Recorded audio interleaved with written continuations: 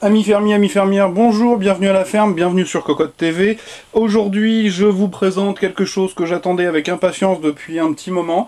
Euh, en l'occurrence, je vous ai fait un teaser ridicule si vous, avez, euh, si vous êtes passé sur le site récemment.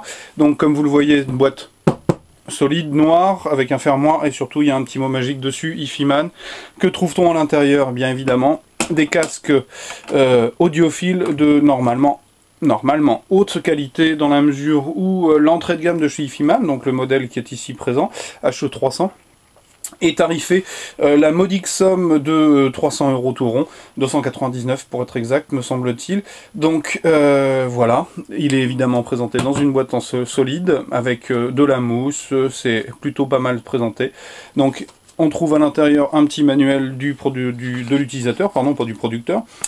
Donc qui va nous apprendre que euh, les drivers sont de 50 mm, qu'il a une impédance de 50 ohms, qu'il a une sensibilité, c'est celle qui me fait peur, 93 dB seulement, euh, que la fréquence couverte court de 15 000 à 22 000 Hz, c'est tout simplement énorme, euh, et encore le HE5 que je vous présenterai dans les jours à venir couvre encore plus, et que le poids est de 270 grammes, donc voilà.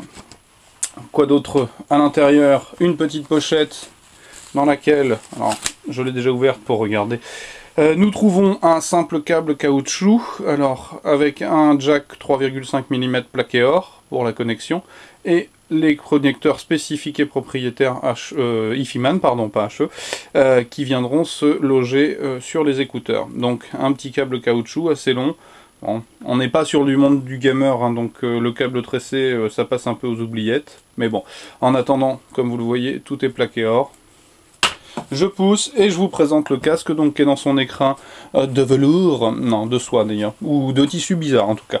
Alors comme vous le voyez c'est un look carrément old school, donc c'est un casque orthodynamique, je vous détaillerai dans le test écrit ce que c'est qu'un orthodynamique.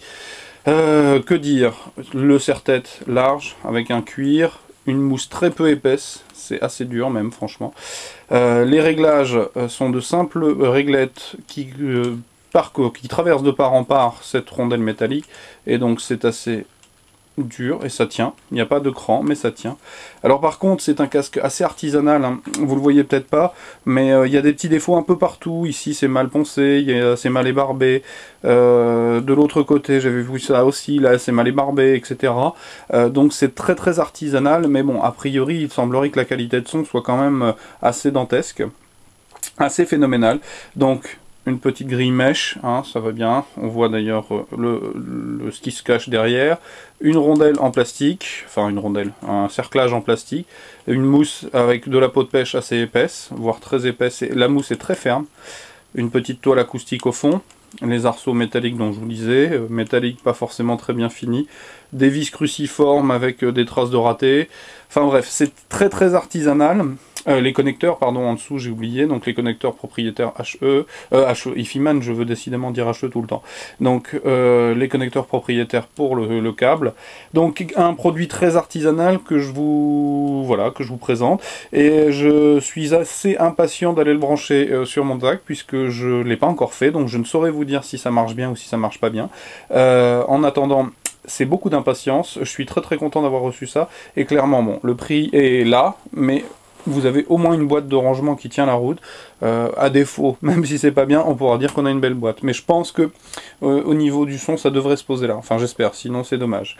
Voilà, donc euh, bah, très très bientôt sur la ferme et je vais aller de ce pas en courant, en essayant de ne pas trébucher, vu ma fébrilité, aller le brancher immédiatement pour voir ce qu'il en est.